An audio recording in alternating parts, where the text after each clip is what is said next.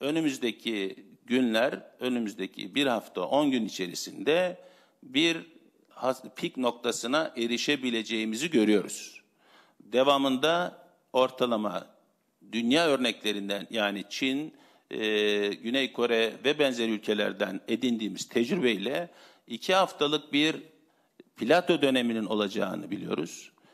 Ve devamında 2-3 hafta içerisinde düşeceğini biliyoruz. Ama bütün bunlar altını çiziyorum. Bizi asla rahatlatmamalı, tedbiri elden bırakmamalıyız, yeni bir dalgaya asla izin vermemeliyiz.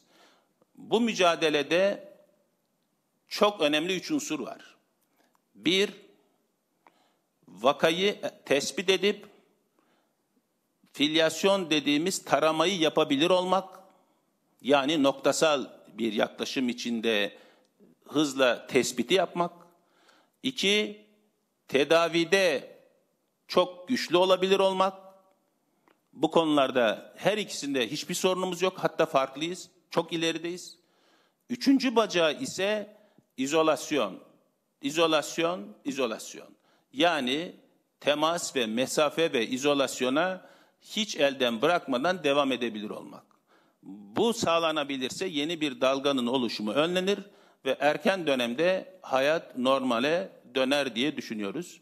Vatandaşımızın bu konuda biraz daha sabır, biraz daha bize destek olmasını bekliyoruz.